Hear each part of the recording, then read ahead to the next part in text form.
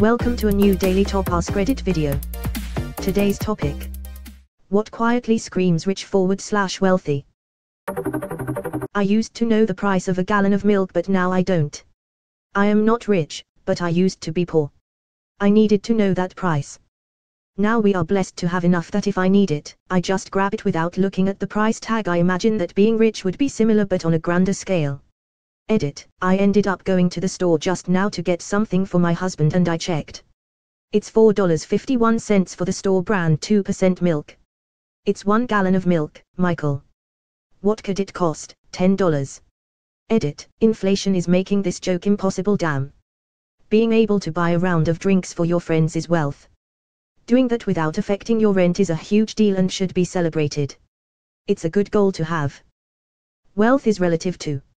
I make six figures and buy rounds of drinks for people all the time, but I live in Seattle and can't even come close to affording a nice home here. Am I wealthy? This isn't rhetorical, I'm legit asking.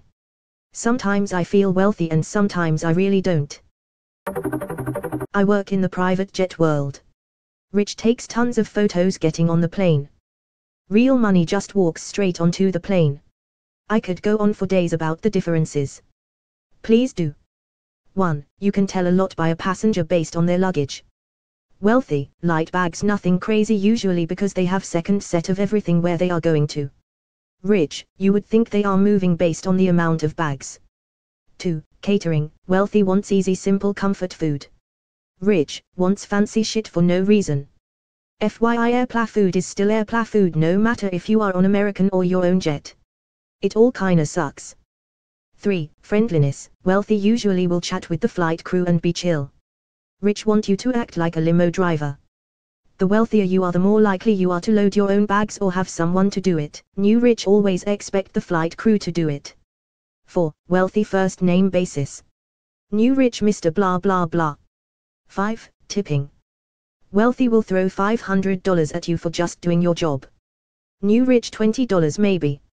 I'm not the commenter, but my ex-husband's grandfather was a multimillionaire. Had tons of money. Dude wore Skechers golf shoes and J.C. Penney polos with slacks all the time.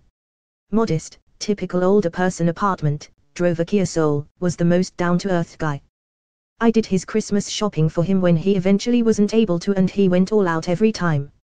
He donated hundreds of thousands of dollars to charity every year, and often throughout the year. He was born with nothing, raised with nothing, and made his fortune with the help of his friends, also born with nothing, and had a talent for sales. They all built each other up. I was a shoe salesperson back then, and he would wonder why money was scarce for us since sales were how he made his fortune. Then I told him why, and how times have changed and that was it. No arguing, no pull yourself up by the bootstraps like I did, just horror that his way of making money back then was no longer viable or accessible for most people today. Consistently checked on us.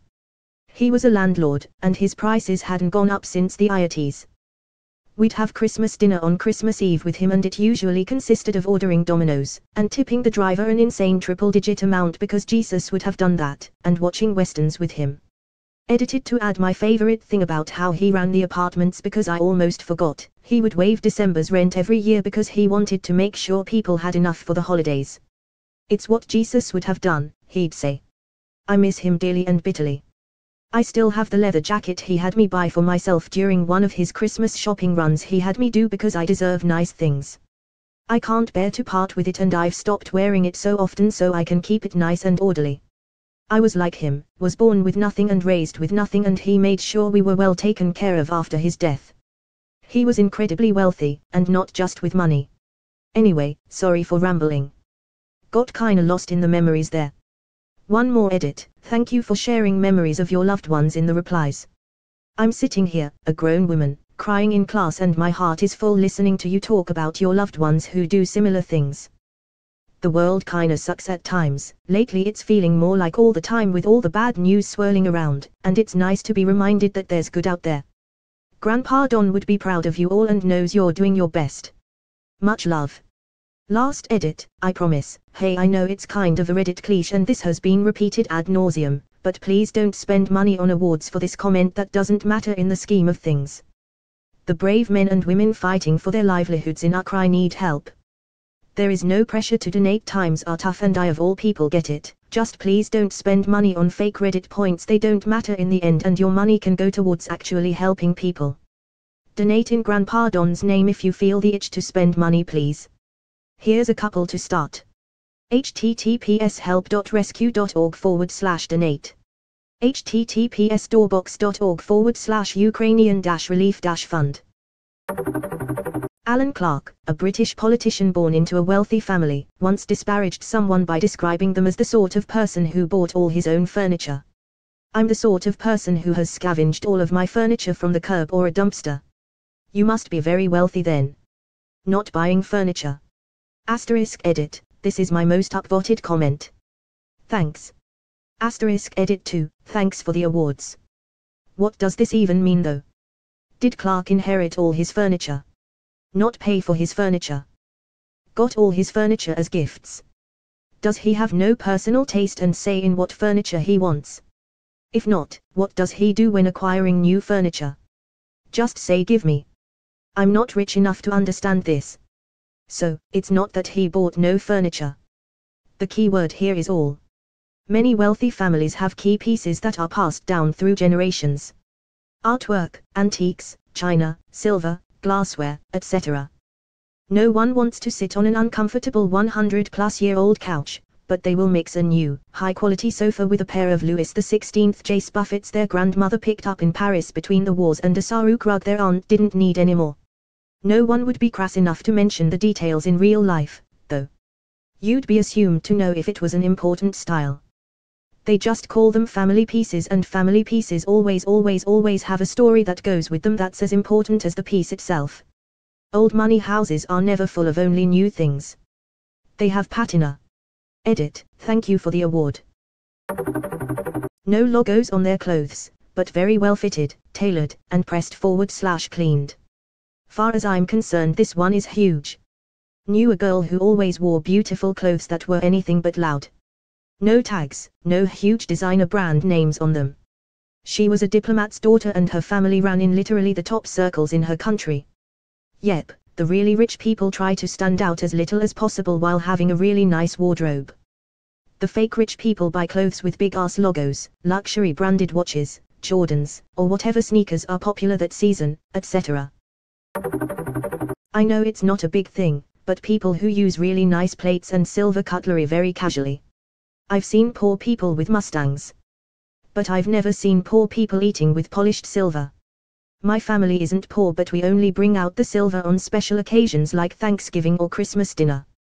We got a set of really nice china as a wedding present. Beautiful pattern, gold around the edges, etc. For the first 10 years, we used them maybe twice a year, carefully hand washed them and stored them away in a cabinet. Then we suddenly realized, this isn't Buckingham Palace, what the hell are we doing? Now we use them a little more regularly than just Christmas and Easter, and to our parents' initial horror, put them in the dishwasher after dinner. If the gold eventually wears off, who cares? These dishes aren't worth anything to anyone but us. I used to work at a clothing store. This lady comes in, she's well dressed looks great and is super polite to the people helping her.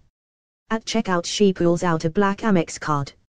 She was not my first Black Amex card customer but she was above and beyond more of a human than the others. I assume she was rich as fuck. What's the deal with this Black Amex card? Is that the most prestigious card available? Amex Black cards have no limit, must be paid off in full each month, you have to spend some huge number each month forward slash year but you can use it anywhere and get access to the Amex Black Card customer service which is basically a whole operation dedicated to fetching whatever you ask for you 24 7 Like some girl was doing a school project about the Dead Sea the parents had the PPL go get her some sand for her project. The average black card holder has a net worth of 11 million. They spend hundreds of thousands without trying. On personal expenses, not business mind you. It's not a credit card. It's a charge card. You have to pay it off every month, no exceptions. Amex evaluates your average monthly and yearly spend before even inviting you to join. It's on the level it created. Other brands and tier cards don't really compare. Even cards like Chase Private Client. It gives it's the best, but it's invite only so it must mean something. I worked at a high-end clothing store in Vancouver and had a woman come in looking for a belt. She was very warm and kind and was in the city for a wedding. She picked out a simple belt but it was probably well over $200 and she pulled out a graphite Amex, must be the same card. And off she went. I could tell I had just encountered probably the wealthiest customer I'd ever had. If it was a matte grey forward slash silverish color, and a metal card, not sure if you were able to tell, it was probably the Amex Platinum card. Not quite the same league as Amex Black, but it's the next highest tier that Amex offers. It requires a $700 annual fee, and it's where you'll find most of the high-income forward slash net worth individuals who use Amex. The black card is in a league of its own,